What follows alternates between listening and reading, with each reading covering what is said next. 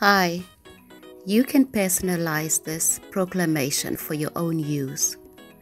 My proclamation. I, Audrylin Zerilda Nauses, denounce and release all energies, vibrations, frequencies, sounds, thoughts, words, actions within me and from me and my twin soul shared field that are fitting, disagreeable, malicious, hidden, and visible entities, enemies, adversaries, things, people, and places on social media and in our physical world. Through the power of Atum Ra, the Ennead of the city of the sun,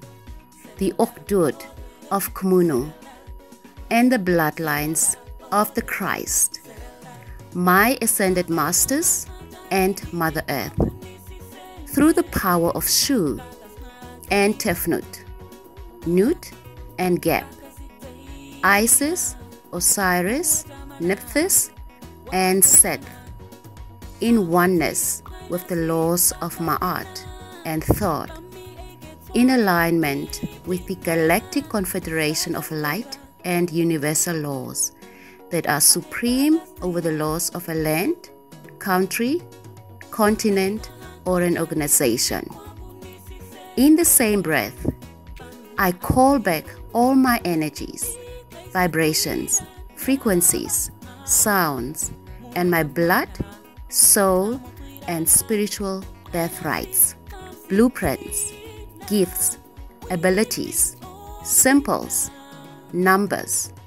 image, and likeness of my Most Highs from all corners of the heavens, earths, and inner world. People, things, and places throughout all dimensions, space, and time, and in this timeline and lifetime, past, present, and future. Through the power of Atum Ra, the Ennead of the City of the Sun, the Ogdoad of Khumunu, my tribe, and the bloodlines of the Christ, my ascended masters and Mother Earth. Through the power of Shu and Tefnut, Nut and Geb, Isis, Osiris, Nephthys, and Seth,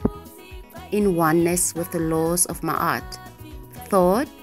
Galactic Confederation of Light, and universal laws that are supreme over the laws of a land, country, continent, or an organization.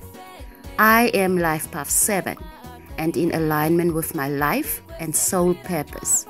as well as with seasons and times, so molded.